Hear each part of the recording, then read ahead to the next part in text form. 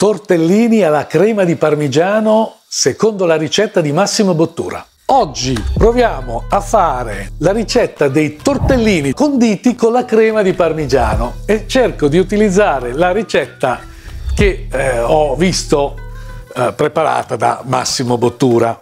Ho avuto la fortuna di mangiare questi tortellini alla francescana e anche a casa Maria Luigia e devo dire che sono squisiti. Io oggi proverò ad imitarli e se uno li vuole mangiare così buoni, secondo me bisogna che si mangino lì. E ad ogni modo io cercherò di fare del mio meglio. I tortellini li avevamo già visti eh, in, in un altro video, trovate qui in alto il link. Questo è il momento buono per iscriversi al canale, è importante iscriversi al canale per sostenerlo. Beh, iniziamo dagli ingredienti. Dunque, beh, ci vogliono i tortellini. Questi tortellini li ho presi da un laboratorio di pasta fresca di fiducia che li fa veramente bene. Del parmigiano, della panna, la panna l'ho già messa eh, nel bimbi perché la dovrò portare ad una certa temperatura. In realtà eh, ho usato della panna fresca è molto importante in questa ricetta avere degli ingredienti top. Questo è un parmigiano eh, 36 mesi, se non mi ricordo, sì, 36 mesi. Tra l'altro ha un profumo buonissimo, bisogna usare eh, ingredienti di alta qualità. E questa è una panna fresca, panna fresca della centrale del latte di Milano. È importante avere ingredienti buoni. Naturalmente del brodo, e eh, sto utilizzando del brodo di gallina. Eh, qui ci può andare benissimo anche del brodo di cappone. Eh, io cucinerò i tortellini nel brodo. Allora ho portato eh, la panna a 75 gradi e aggiungo il parmigiano. Qui le dosi diciamo che quasi uguale tra panna e parmigiano però bisogna un po' regolarsi a occhio. Eh? Qualche volta io metto metà panna e metà brodo di cappone, quando il brodo di gallino o di cappone, eh, più il brodo è buono e più ci metto, ci metto del brodo, però oggi facciamo panna e parmigiano e basta. Si può fare anche sulla, sulla, sulla padellina, eh? non è necessario farlo col bimbi, col bimbi siamo più tranquilli perché ci controlla la temperatura. Questo punto possiamo cominciare ad abbassarla un po' per evitare che il formaggio, nel formaggio si separino le proteine e poi diventa mozzarella. Sto facendo una bella cremina, ancora un po'.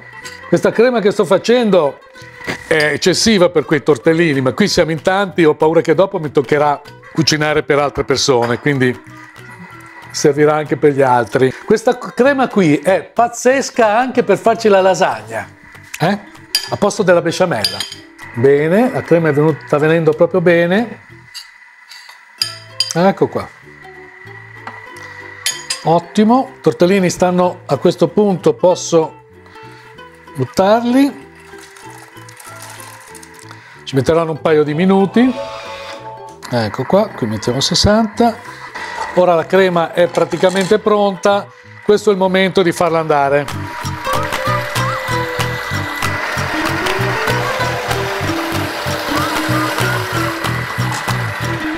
Profumo meraviglia, eh?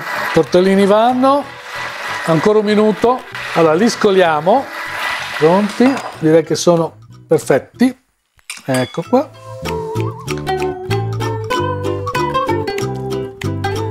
Mm. E a questo punto pronti per condirli. Questa è una bellissima salsina con panna e parmigiano. Questa la teniamo per i prossimi. Ecco qui pronti per impiattare. A questo punto procediamo all'assaggio. Non sono da solo. Beh, io sai che quando chiami arrivo, eh, quindi... Questo, questo, è un piatto che tu dovresti conoscere. Ma dovrei conoscere abbastanza bene, sì, anch'io ho avuto la fortuna come te di assaggiarlo in francescana dal celeberrimo Massimo Bottura. Eh, quindi è uno dei miei piatti preferiti in assoluto, quindi non potevo... Ai, ai, ai. Non Io spero mai... di non deludere. Io qua, eh. ricordo eh. bene bene il gusto del tortellino del maestro, quindi vediamo se lo raggiungi. Non dico neanche se lo superi, hai notato, ho detto se lo raggiungi. Ecco. Basta, basta andarci vicino. vicino, è già tanto, no? Devo dire, allora, ho usato panna e, e parmigiano. parmigiano. Sì la crema è venuta bene, devo dire. Qualche volta io ci metto il brodo, metà, faccio metà pane e metà brodo, però devo dire, il, è talmente buona questa roba qui. Mm. Io adesso... Eh, Potrei devo... camminare sulle acque. Questi sono veramente da fuori di testa. Mamma che buoni. Buoni. C'è poco da fare. Mamma, ma non possono non piacere. Cioè, questi devono piacere a tutti. Cioè. Devo dire, qui il parmigiano la qualità. Che parmigiano hanno usato? Ho usato un 36 mesi. Bene. Buono. Tortellini come sono venuti su li ho tirati fuori. Certo. Questi non li ho fatti io questa volta. Ah. Non sono male. No, no. Non sono male. Vanno bene. Devo dire che non sono male. Però veramente strepitoso il gusto. Mi piacciono anche in brodo, eh? Assolutamente. Mi piace, però quando però mangi così, tanta roba. Raga, difficile, eh? Buoni, sono molto buoni. Bravo Razio, sei sempre il numero uno, eh? Questi sono difficili da non finire. È vero, è vero. Ogni volta che mi inviti finiamo tutto, ma non è che siamo noi golosi, è che sono buoni. Sono ecco. buoni, diciamo che sono buoni. Eh. Sono diciamo che non dobbiamo fare finta, ecco. Anche perché così, con questo sistema, la crema non la puoi sbagliare. Certo.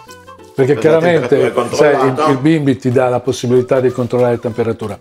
Lo puoi fare anche con la padella. Devi, controllare, devi, stare, devi stare un po' più attento. Ecco, devi stare un po' più attento. Non devi fare bollire la panna perché se, se no. poi si alza troppo la temperatura il, il, forma, il formaggio eh, dopo certo, aver fuso eh, si separa da, esatto. eh, dalle proteine, cioè l'acqua si separa dalle proteine e diventa un pasticcio. Eh? Beh, Orazio, quindi parlando di questi tortellini, cosa ci berresti tu? Perché è un piatto così godurioso che...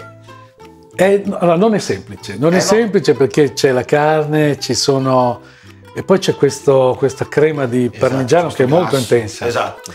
Allora io qui faccio una cosa un po' fuori e poi è dolce. Esatto. Viene fuori un sapore, alla fine il sapore prevalente è umami questo. Certo, potrebbe essere quasi Anzi, un dessert. Questo è un'esplosione di umami e quindi secondo me ci va qualcosa che possa contrastare o che vada bene con questo, con questo sapore.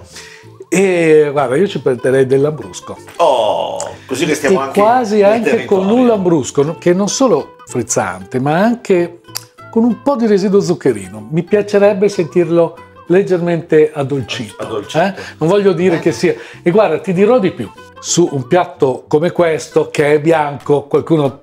Sai, una cioè, delle teorie è, è che il vino deve... Beh, allora, se ci devo mettere un vino bianco, io ci metterei un'albana dolce. Mm-hmm. Così siamo, rimaniamo eh, nel territorio, però rimaniamo nel territorio e eh, i vini dolci che noi non beviamo più, o li beviamo solamente col dolce, secondo me hanno delle possibilità di accostamento meravigliose anche con altri piatti. Guarda, o un lambrusco o un'albana dolce.